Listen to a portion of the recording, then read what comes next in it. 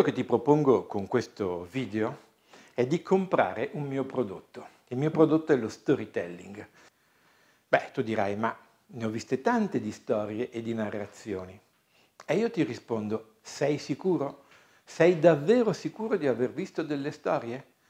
Prendiamo il campo della pubblicità. Molto spesso si vedono dei prodotti che sembrano raccontare delle storie, vengono chiamati storytelling, ma a che cosa servono?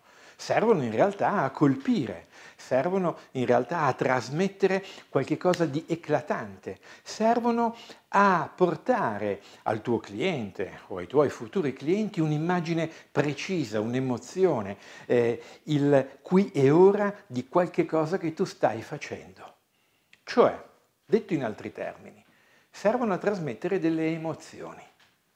Sono filmati, sono storie, sono racconti, sono spezzoni, piccoli clip emozionanti, fotografie d'impatto, disegni, poster, comunicazioni di effetto? Certo che lo sono. Lo sono. E sono anche necessarie. Sono anche necessarie perché se tu vuoi dare un messaggio, un messaggio che colpisca, un messaggio che arrivi, che faccia, eh, eh, ehm, che richiami l'attenzione del tuo cliente, beh, tu devi fare questo, devi fare una comunicazione pubblicitaria. Una comunicazione pubblicitaria che è fondata su determinate emozioni. Bene, lo puoi fare questo. Tu non ricordi dei, delle emozioni che hai provato occasionalmente di fronte a dei messaggi pubblicitario a determinati film o libri che hai letto, non ricordi le singole emozioni, a meno che queste non siano legate a una struttura di sentimento duratura. Allora sì, allora anche le emozioni vivono nel tempo di questi sentimenti. Dunque che cosa abbiamo capito? Abbiamo capito che fondamentalmente la comunicazione si divide in due campi un campo nel quale è fatto di tutto per emozionare, colpire, sparare, suscitare effetti speciali, per poter catturare le persone, per poterle catturare quell'istante. E c'è un altro campo con il quale invece si costruisce. Si costruisce un'attività, un'attività tra una persona un'altra persona, in questo caso tra te e il tuo possibile cliente, si costruisce un'attività comune. Oh bella, tu mi dici, ma che attività comune si costruisce? Perché io produco, quella persona compra e questa è l'attività che intendi? No, questo tipo di attività riguarda il primo campo. Io emoziono, stupisco, porto all'acquisto, poi vengo dimenticato poi vengo paragonato a tanti altri che producono la stessa cosa. Secondo caso, io costruisco, racconto, catturo la persona perché questa persona vede che c'è qualche cosa di più importante che non delle semplici emozioni, acquisterà i miei prodotti, ma li acquisterà non perché è folgorata sulla strada di Damasco in quel momento, ma perché abbiamo costruito un rapporto ed è un rapporto attivo, perché il racconto, il racconto, la narrazione sono circolari. Io dico qualche cosa, la persona aggiunge qualche cosa d'altro. Vedi, io mi trovo qui, in quest'angolo. Questo è un angolo di casa mia. Avrei potuto essere in un ufficio. Anzi, mi hanno proposto di realizzare questo filmato in un ufficio. Una bella scrivania, davanti a una bella scrivania, magari un po' vuoto, minimalista, con pochi oggetti. Ma di che cosa io avrei parlato in quella condizione? Io in quella condizione avrei parlato semplicemente di che cosa produco e del perché a te potrebbe interessare. Cioè avrei cercato di vendere il prodotto Beh, tu mi dici, ma hai detto all'inizio che questo video serve per vendere questo prodotto? Certo, perché voglio essere onesto, serve per questo, sono qui per vendere quello che faccio. Ma questo non basta, non basta. Io voglio che tu capisca che Dietro quello che io faccio c'è una storia e allora abbiamo qui degli oggetti. Degli oggetti che a te cosa rappresentano? Rappresentano degli oggetti. Questa stampante è una stampante. Questo frigorifero, che sarà strano forse trovarlo in questo ambiente, è un frigorifero. Questi sono dei libri. Che cosa ti possono rappresentare se non una stampante, un frigorifero e dei libri? Ma per me, per me sono delle storie. Dietro ogni oggetto c'è qualcosa. Tu non lo sai che cosa c'è, io sì, tu no.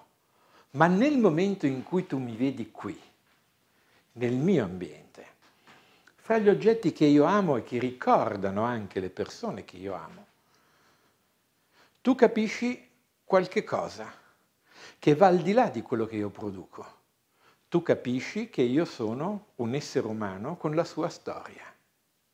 E se questa storia è una buona storia, se questa storia è una storia ricca di sentimenti, se questa storia è una storia ricca di passioni, di cura per le persone, allora tu capirai anche che qualsiasi cosa io produca, questa cosa avrà un grande risultato e sarà arricchita, sarà valorizzata da tutto questo che oggi qui, in questo piccolo spazio, mi circonda.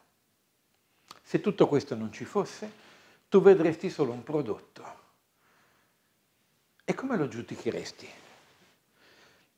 Prendiamo il caso delle automobili. Le automobili. Prendiamo questo caso. La produzione automobilistica. Vedi, dietro ogni comunicazione che ha a che fare con la produzione automobilistica si dice che ci sia una storia che viene raccontata e allora tu vedi queste bellissime automobili tenere la strada, fare delle curve in paesaggi incredibili dove forse ti piacerebbe anche andare. Ma queste storie raccontano tutte una sola identica storia.